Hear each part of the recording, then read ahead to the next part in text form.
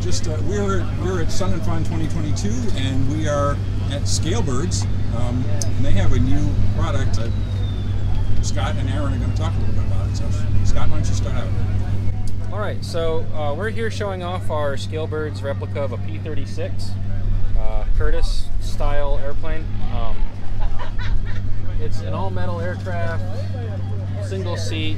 It's about 60% scale, and the original idea came from not really having something like this on the market that you could buy as a kit or build even as plans.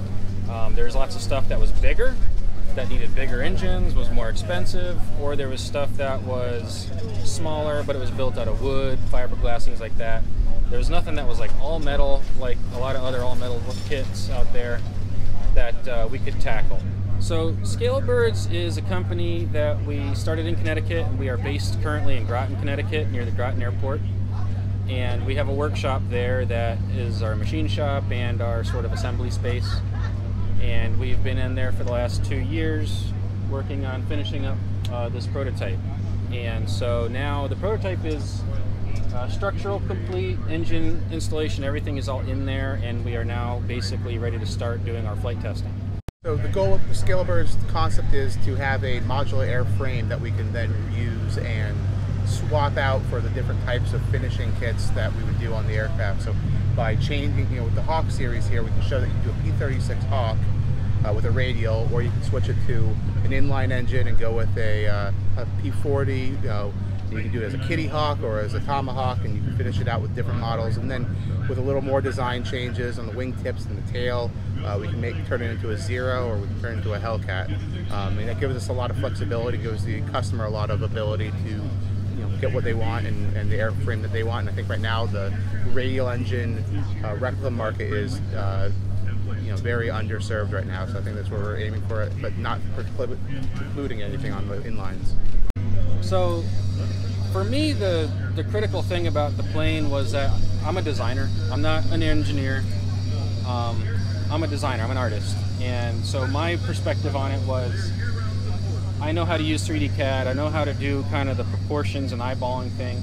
To do a replica right, you have to change things. You can't scale it down 100% to 50% and fit a pilot. You don't get the same aerodynamics. You don't get the same uh, weight and balance with different engines.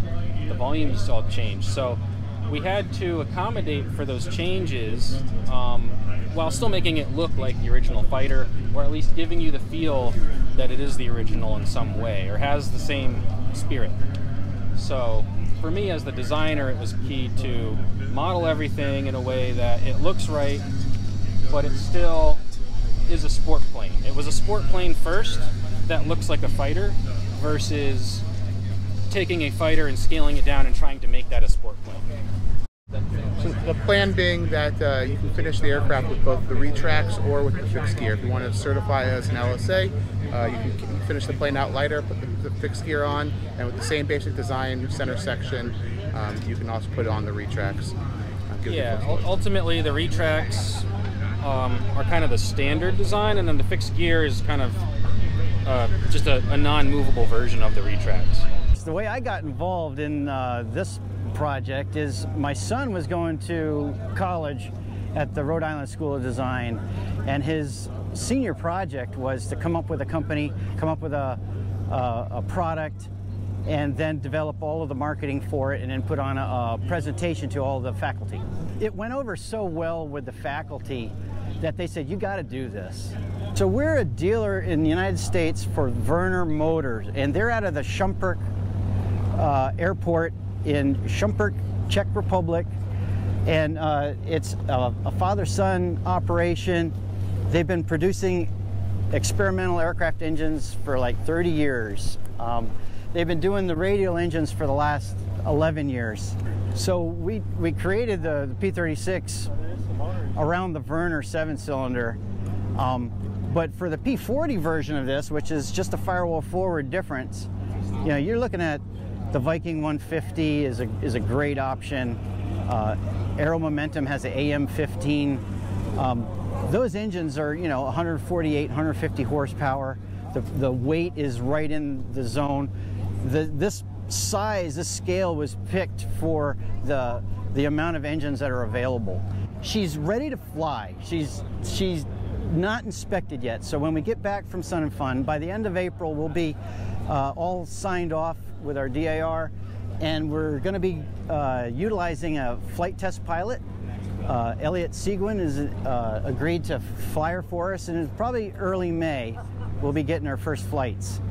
Um, we're expecting to do a full test flight program, and so by June we'll have all of the numbers and we'll know how she does and how to adjust the design for the kit version of this.